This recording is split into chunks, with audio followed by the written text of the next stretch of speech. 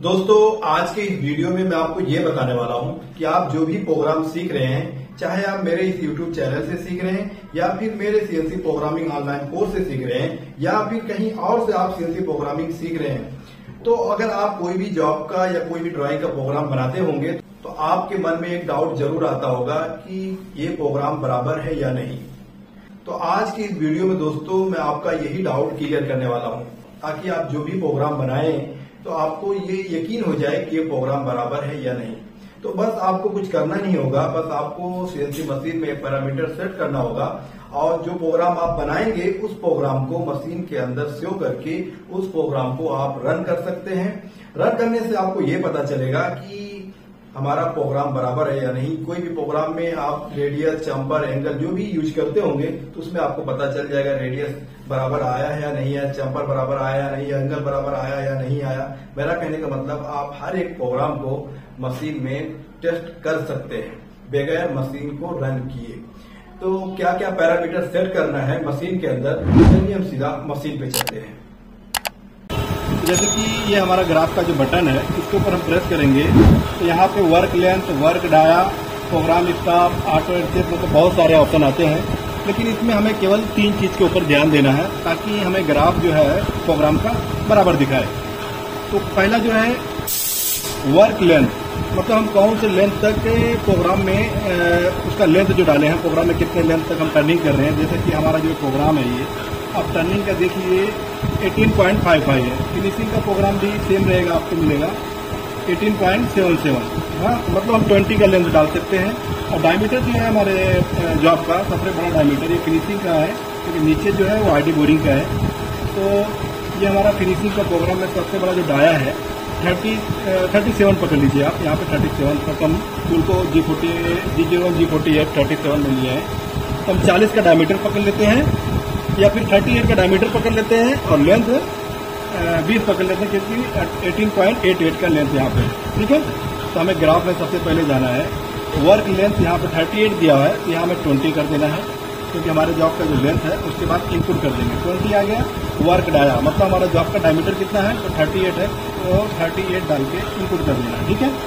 उसके बाद आप यहाँ पे देखिए ग्राफ ये हमारा डायमीटर समझ लीजिए। ये जेड का है ठीक है? अगर आपकी मशीन पे ये आगे पीछे आ रहा है तो आपको यहाँ पे स्केल पे मेंटेन करना है। अभी यहाँ पे जो दिख रहा है 2.92 का स्केल ही ऑटोमेटिक चेंज हुआ है, क्योंकि जो पहले का डायमीटर और लेंथ था, उसमें आप वीडियो में पीछे जाके देख सकते हैं। यहाँ पे स्केल जो था 1.2 या 1.5 के आसपास था। इसे हम चेंज कर सकते हैं। यहाँ पे मैं अगर 1.5 का स्केल डालता हूँ तो देखिए यहाँ पे ये शिफ्ट हो गया। हाँ? हमें इसको पीछे लाने के लिए ताकि हमारा जो भी ग्राफ दिखेगा, थोड़ा बड़े साइज़ में दिखे।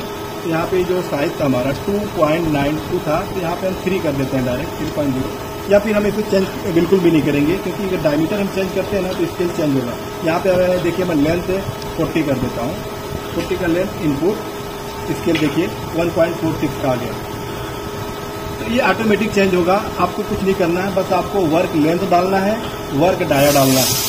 ये दोनों अगर आप डालते हैं तो ये आपका स्केल ऑटोमेटिक सेट हो जाएगा। तो ये आपको केवल यही चीज़ डालना है स्केल के ऊपर बिल्कुल भी ध्यान देना है। ग्राफ सेंटर इसके ऊपर भी मत जाइए आप। केवल आप work length work dia. Work length हमारा ट्वेंटी था तो ट्वेंटी में डाल देता हूँ डायमीटर थर्टी है। अब ग्राफ देख लीजिए आप। बराबर है। अब हम, ये जॉब है हमारा। इसका जो प्रोग्राम है, आप प्रोग्राम देख सकते हैं। ये प्रोग्राम है हम इस प्रोग्राम का रन करके हम सीधा ग्राफ देखेंगे। इसमें ओडी रफिंग है ओडी फिनिश है आईडी फिनिश का प्रोग्राम क्योंकि पहले इसे, इसमें डीलिंग हुआ है। ठीक है? तो मैं रिसर्च मारता हूँ ऑटो में ले लिया हूँ। अब मैं जॉब लगाता हूँ। जॉब लगा दिया हूँ। तो अगर आपको मशीन रन नहीं करना है, कि मतलब जॉब नहीं, मेरा मशीन बिल्कुल भी मूवमेंट ना हो तो हम रैपिड को ज़ीरो कर देंगे नहीं करेंगे तो भी चलेगा।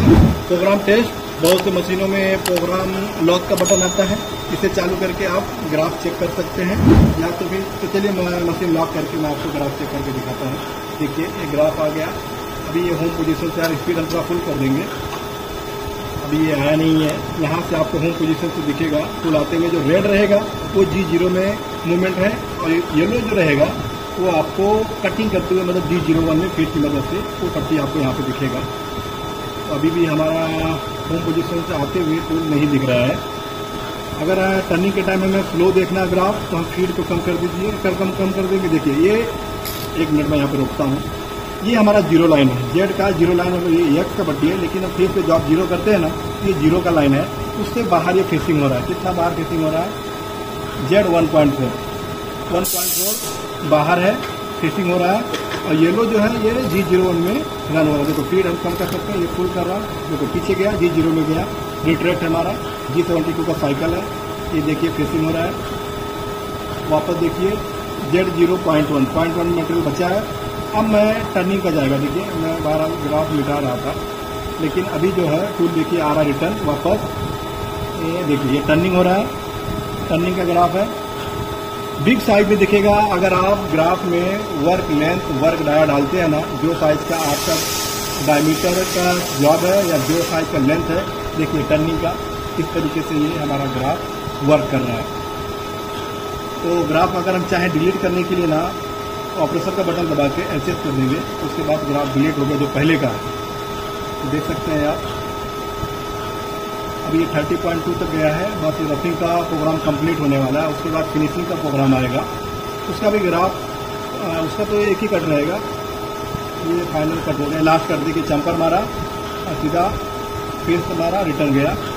अब आएगा फिनिशिंग टूल उसको हम वापस फिनिशिंग का भी हम प्रोग्राम देखेंगे। तो मैं इसको तो जो पहले का ग्राफ था, वो डिलीट कर दिया हूँ। देखिए, अब ये फिनिशिंग टूल आ रहा है हमारा। ये देखो फेस पे जा रहा है येलो पट्टी। ये हमारा फिनिशिंग फेस फिनिश कर रहा है। उसके बाद देखिए, यहाँ पे रेडियस चंपर है। और उसके बाद यहाँ पे अंडर कट रहेगा देखिए अंडर कट आया, वापस फेस गया रेडियस मारा टूल पीछे गया। अब यहाँ पे देखिए आई डी फिनिशिंग का टूल आएगा। मैं ये ग्राफ मिटा देता हूँ ताकि आपको बराबर, नहीं, वापस फिनिशिंग हो रहा। है तो देखिए वापस। अभी ये आई का आएगा। मैं वापस साइकिल स्टार्ट मारता हूँ ऑफ़िस का रुका हुआ था। ये अभी देखिए आईडी आया। आईडी पे चैम्पर मारा आईडी पे कट मारा टेन पॉइंट फाइव फाइव है। उसके बाद कोई नीचे आएगा, पीछे जाएगा। देखिए, इस तरीके से हम दोस्तों ग्राफ चेक कर सकते हैं पैरामीटर परफेक्ट डाल के। जो साइज़ का हमारा डायमीटर रहेगा, वो डालेंगे। जो साइज़ का लेंथ रहेगा, वो डालेंगे। और प्रोग्राम मशीन के बगैर हम मूवमेंट के प्रोग्राम टेस्ट या मशीन लॉक का बटन प्रेस करके हम कोई भी प्रोग्राम चेक कर सकते हैं, चाहे वो फिक्सिंग का हो, चाहे टर्निंग का हो, चाहे डीलिंग का हो, चाहे ट्रेडिंग का हो, चाहे बुरिंग का, हर एक प्रोग्राम का ग्राफ हम आराम से देख सकते हैं। तरीके से दोस्तों आप कोई भी प्रोग्राम मशीन के अंदर डाल के, उस प्रोग्राम को रन करके आप देख सकते हैं कि आपका प्रोग्राम बराबर है या नहीं। मशीन लॉक करके या प्रोग्राम टेस्ट बटन ऑन करके कोई भी प्रोग्राम का आप ग्राफ देख सकते हैं। ग्राफ देखने का जो पैरामीटर है, जो मैं आज आपको बताया हूँ, उसी तरीके से आपको देखना है। आपके हर एक प्रोग्राम का डिटेल आपके ग्राफ में मिल जाएगा। ठीक है दोस्तों, वीडियो कैसा रहा कमेंट करके ज़रूर बताना, वीडियो को लाइक और शेयर करना।